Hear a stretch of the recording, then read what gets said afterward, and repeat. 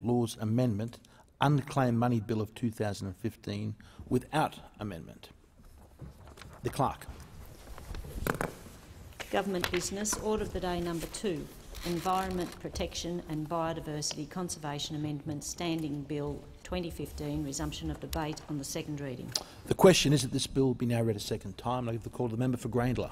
Thanks, Mr Deputy Speaker. I'm pleased to rise on behalf of the Australian Labor Party to oppose the latest act of vandalism by this government against Australia's natural environment, an action which doesn't seek to repeal a decision of the former Labor government, but instead repeals legislation introduced by that radical environmentalist John Howard.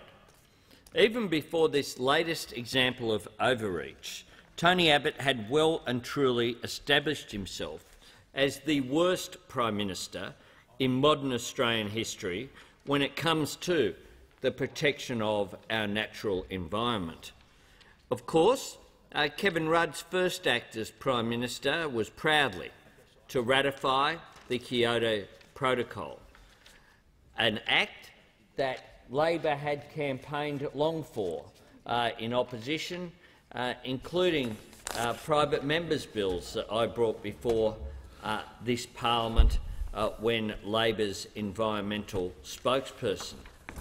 But one of Tony Abbott's first acts stands in stark contrast to the act of the Rudd Labor government.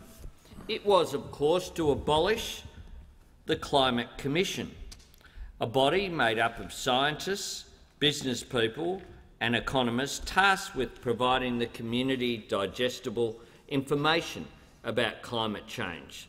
That was what they attempted to do in their first legislative act uh, on the environment before this parliament. Notoriously, of course, we know that Tony Abbott made Australia the first nation in the world to dismantle a carbon pricing mechanism, in particular abolishing any legal cap or target on carbon pollution levels for 2020 and 2050. Unsurprisingly, Australia's carbon pollution levels have started to rise again, particularly in the electricity sector.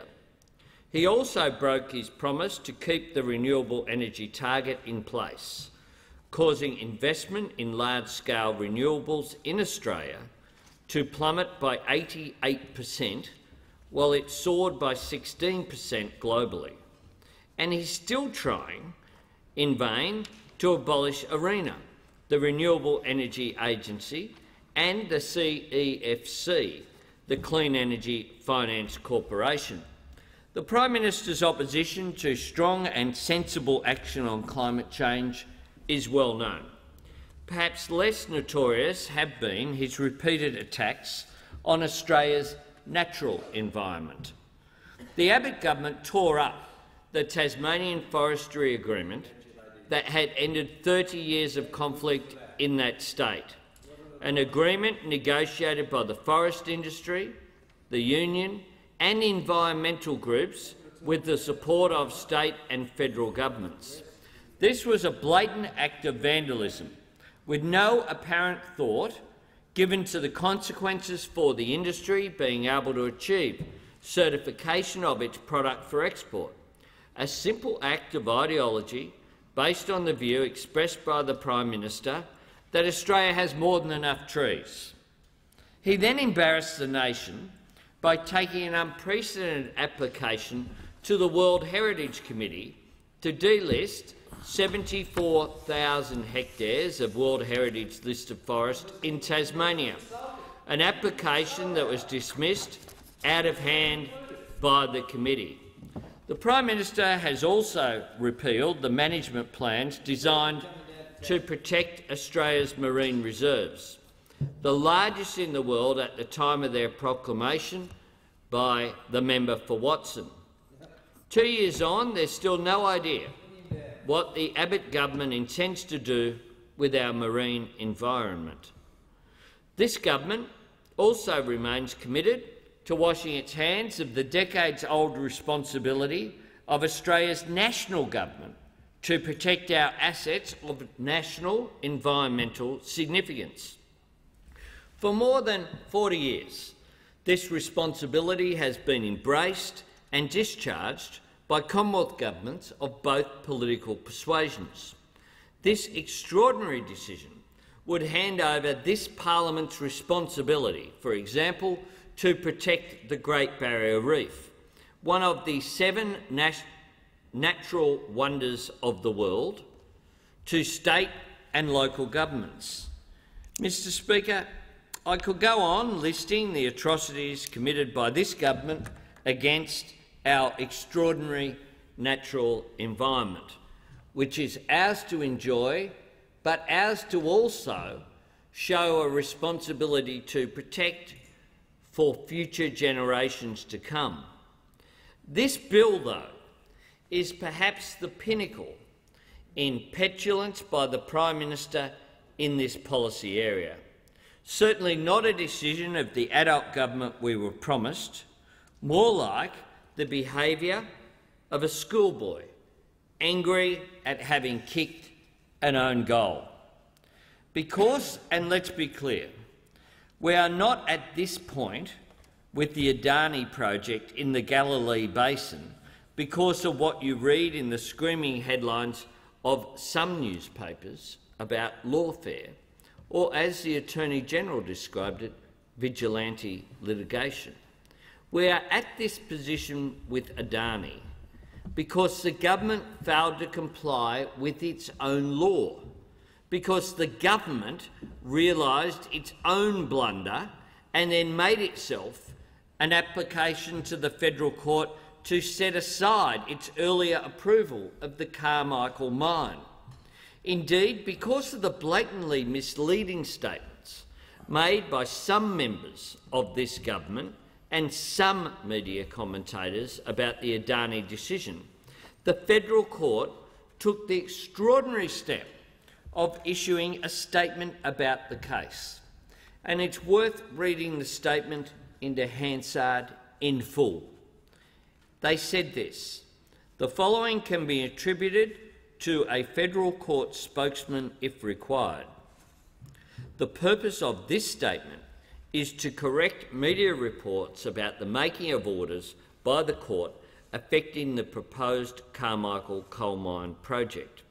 On 12 January 2015, the Mackay Conservation Group filed an application for judicial review of the decision of the Minister for the Environment made under the Environment Protection and Biodiversity Conservation Act 1999 to approve proposed action to develop an open-cut and underground coal mine, rail linked and associated infrastructure in central Queensland, subject to certain conditions. On 4 August 2015, a judge of the court made orders setting aside the minister's decision. The orders were not made after a hearing. There was no judgment. There were no findings. The orders were made by consent. That is, with the agreement of the parties to the litigation. Proposed orders were presented to the court in a letter from the Australian Government solicitor who acted for the minister and the Commonwealth. The letter was written with the agreement of the other parties, the Mackay Conservation Group and Adani Mining Proprietary Limited. In the case of an agreement by parties to litigation to set aside a decision of the executive, the court's usual practice, known to the parties, is that the court be informed of the error sufficient to set aside the decision.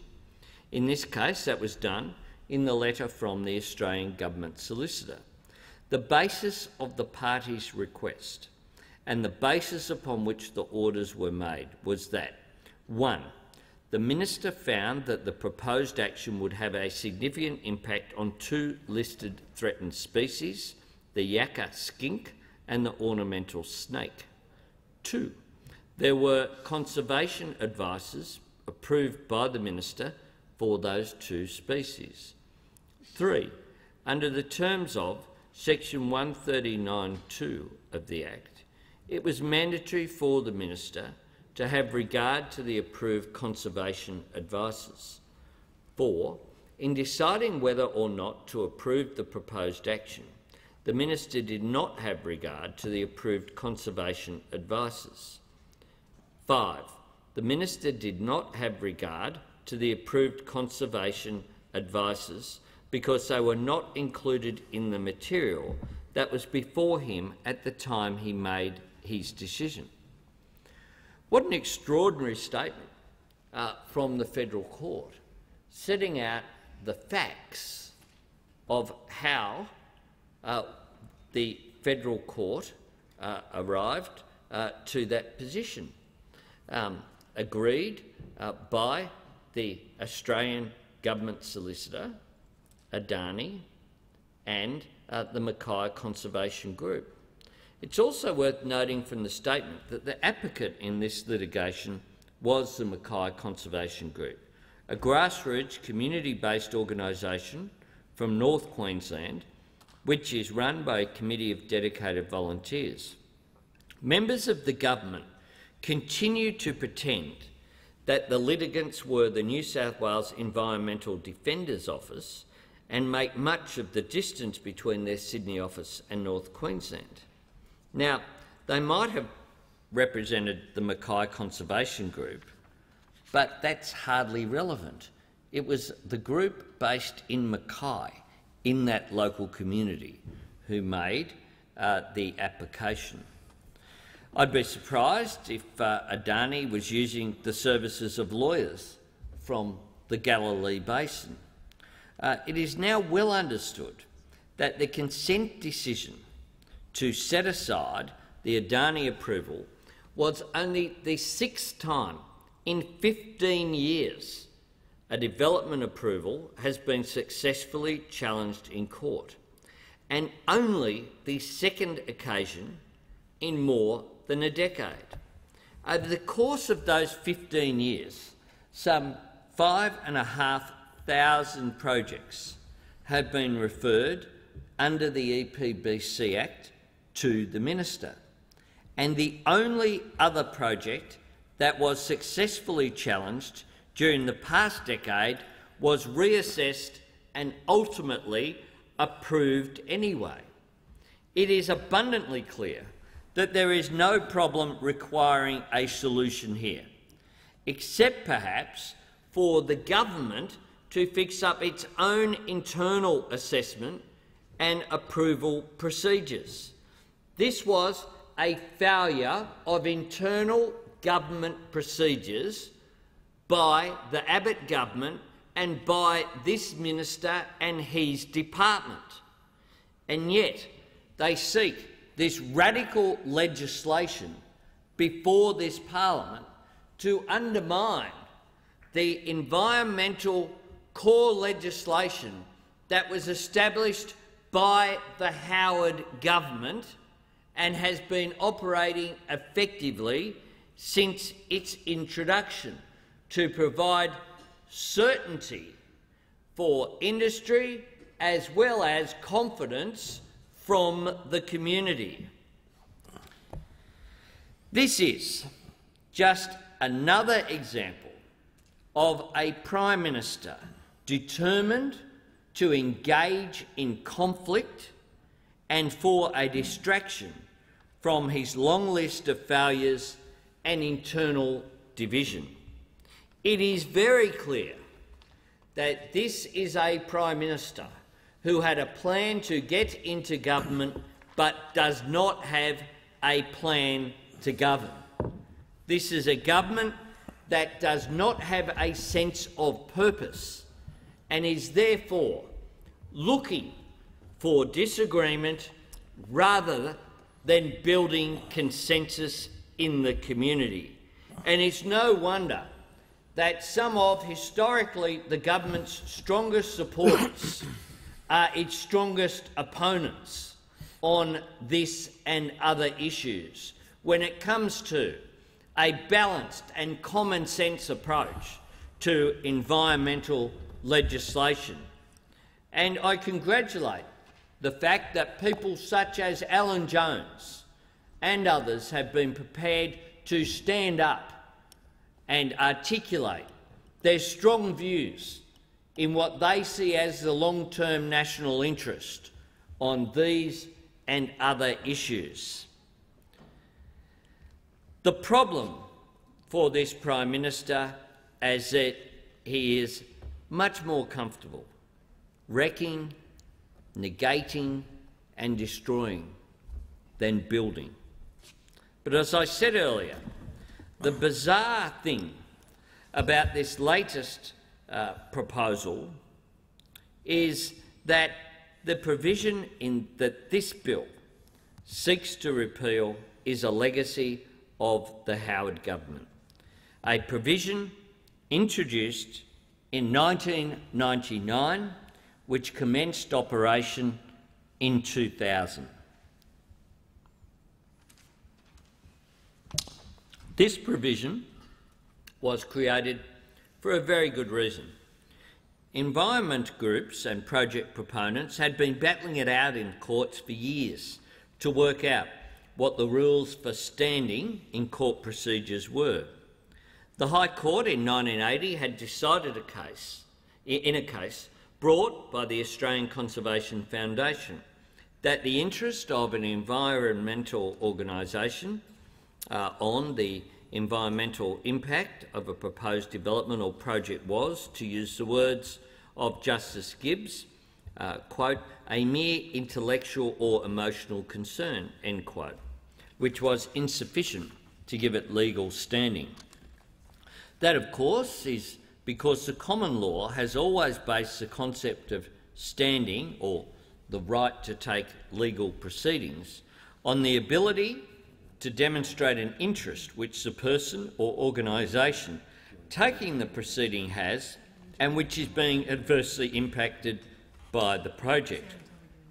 While this obviously makes sense where a project might impact someone's property or uh, business uh, interests, indeed their private economic interests, uh, environmental protection laws are primarily directed at protecting a public interest. Uh, the entire general public has an interest in the protection of our natural environment.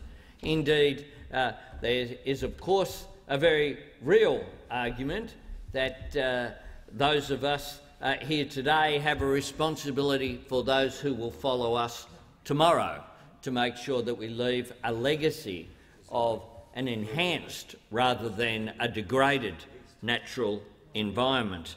And we know, of course, that this isn't uh, just about uh, environmental concerns.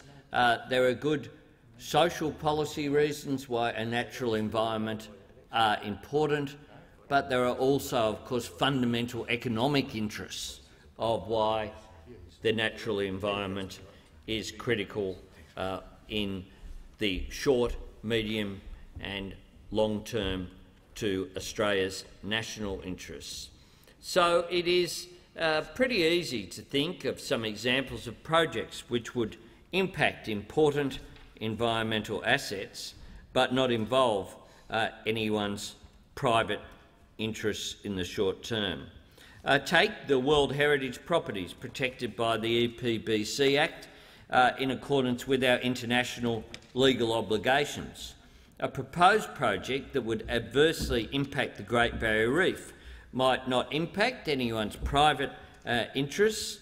Uh, obviously, the reef itself can't take legal action uh, if the minister again fails to apply his own laws properly. Um, only a representative organisation can take an action which would hold the government to account. Or take the threatened species that are protected by uh, the same legislation. Uh, the Tasmanian Devils weren't able to take action in the Shree Minerals case a couple of years ago. Instead, it of course fell to an environmental organisation to do it for them. Uh, these examples are serious examples because the message from the government is that, in relation to all of those matters, protected by this legislation, you'll simply have to trust the government. If a project threatens Australia's World Heritage properties or endangered iconic species, no one will be able to challenge this government in court. No one will be able to stand up for the environment in court. Now, the government appears to be at pains to assure Australia's farmers that they are not the target of this legislation and that they will still be able to take the government and developers to court if their land holdings or business is adversely impacted by a development. I'll only mention in passing the utter confusion among government ministers around what was actually being proposed when this was first announced. I guess that's what happens when the Prime Minister announces policy on the run in question time, with no draft legislation, with no consultative process and when the relevant minister is out of the country. The Attorney-General told the Senate that only part of section 487 was being repealed, such that farming peak bodies would still be able to take representative actions in our courts. Apparently, the Minister for Agriculture was busily assuring his constituents the same thing. Everyone he ran into Ridiculously, two different sets of government talking points were apparently circulating amongst coalition members in the parliament. One set suggesting that only part of the provision would go, in keeping with the Attorney-General's assurances to the Senate, and the other set suggesting that the whole provision would be repealed. Well, we know now that the Attorney-General was either misinformed or didn't read his brief carefully, because the bill seeks to repeal the entire provision of section 487. Still, the Minister for Agriculture has assured farmers that they will still be able to take legal action. Rubbish. The farmers know that that is not the case. It is crystal clear that they would have to do so now on an individual basis, demonstrating that their private interests were adversely impacted and pitching themselves alone against the resources of multinational companies and the Commonwealth Government. We've seen from the controversy around the Shenhua mine in the Liverpool Plains that fine legal points will be able to be drawn out by high-powered lawyers acting for the companies and government over whether or not a particular farmer is actually impacted by a development proposal. Even if the Minister for Agriculture has such little regard for the representative work of Australia's environmental organisations, it beggars belief how he could have possibly supported this legislation in the Cabinet in the light of what it does to Australia's farmers and their representative organisations. And they're awake. Mine's doing about that. They're onto this minister. This is what the Vice President of the National Farmers Federation, Fiona Simpson, said. And I quote, the Adani decision seems to have been caused by either Adani or the department not applying the law properly. But then suddenly, and with no warning or consultation, we get this put forward. We prefer evidence-based policy making. Evidence-based policy making. That is what the National Farmers Federation is saying they support, and that is what good government should provide for. Tim Duddy, farmer and chairman of the Caroona Coal Action Group, which is campaigning against the Shenhua mine, raised the obvious objection that even a directly affected farmer would be risking their farm from a costs order if they took legal action against a multinational company. The idea that we should simply trust this government to protect Australia's natural environment, free from judicial review, would be laughable if it was not so very serious. But Labor doesn't just oppose this legislation because of this government's appalling record on the environment. We do so as a matter of principle. The right of citizens withstanding to challenge their governments in court is a fundamental pillar of a robust democracy. We must not set this principle aside simply to provide a drowning Prime Minister with a headline and a stoush. And the need for a provision that reflects the unique public interest involved in protecting Australia's natural environment is patently obvious. The New South Wales Independent Commission Against Corruption has also reinforced the importance of third-party appeal rights against development approvals from a public integrity perspective. In its 2012 report on anti-corruption safeguards and the New South Wales planning system, the Commission made the important point on page 22 that, and I quote, third-party appeal rights have the potential to deter corrupt approaches by minimising the chance that any favouritism sought will succeed. The absence of third-party appeals creates an opportunity for corrupt conduct to occur as an important disincentive for corrupt decision-making is absent from the planning system." End quote. As a general proposition around the integrity of public decision-making, that is absolutely correct. The former Attorney-General and father of this House, the member for Berowra, obviously had these matters in mind when he apparently raised his concerns about this bill in the Liberal Party room meeting just a couple of weeks ago.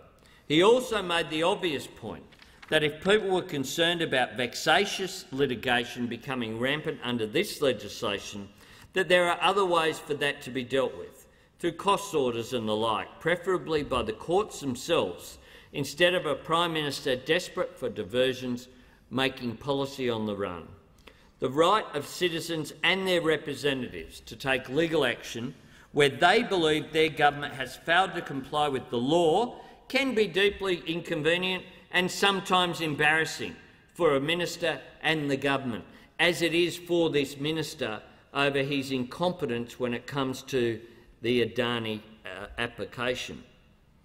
But it is a fundamental part of a transparent and properly functioning democracy.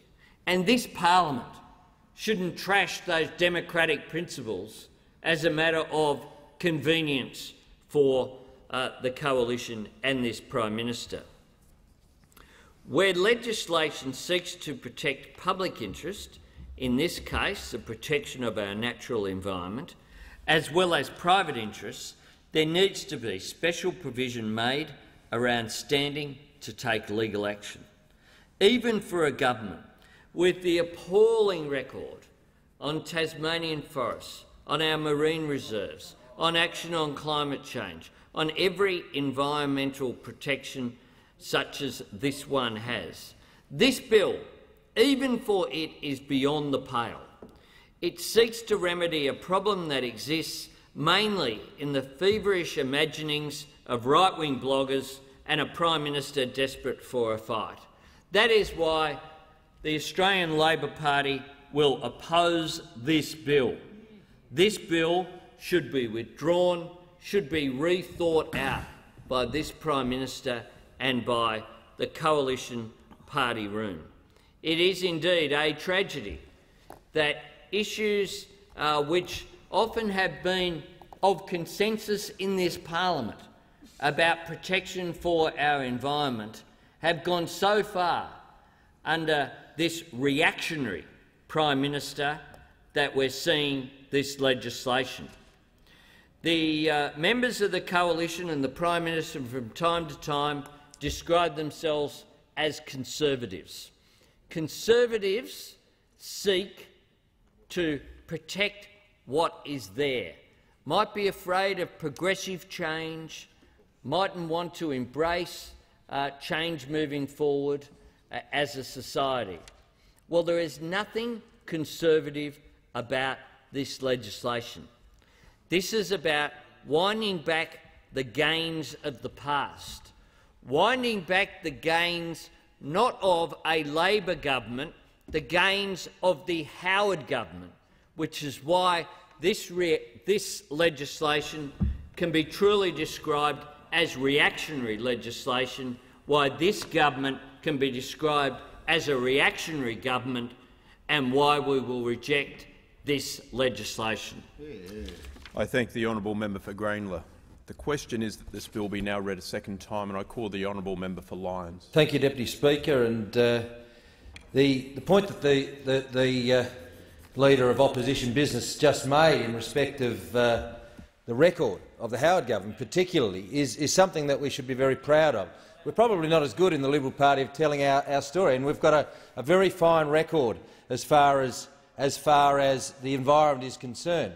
But what is, what, what is a reality is that we always need to review, we always need to, where it's appropriate, update and modernise uh, legislation in respect of the circumstances